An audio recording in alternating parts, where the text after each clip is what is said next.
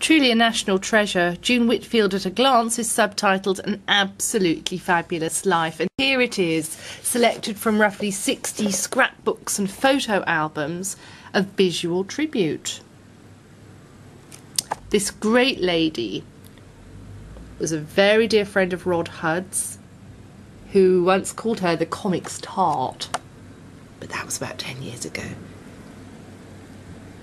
She's made Carry On films, here she is in Absolutely Fabulous.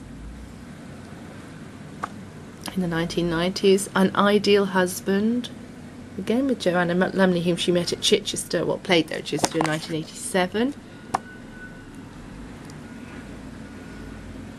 That was a pilot sitcom for London Weekend Television, which never got off the ground. So all the adverts, the Terry and June, of course, the Terry and June years, who could forget? Leslie Crowther years.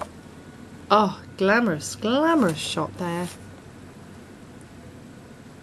And early newspaper coverage, joy and sadness of her father's death. Another absolutely gorgeous glamour shot here. And people she's worked with like Jennifer Saunders, Terry Scott, Terry Wogan, Melvyn Bragg, Galton and Simpson.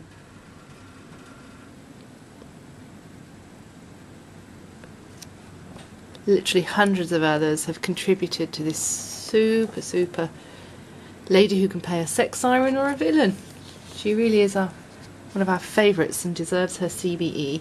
Published at £20 through Bibliophile Books, June Whitfield at a glance is just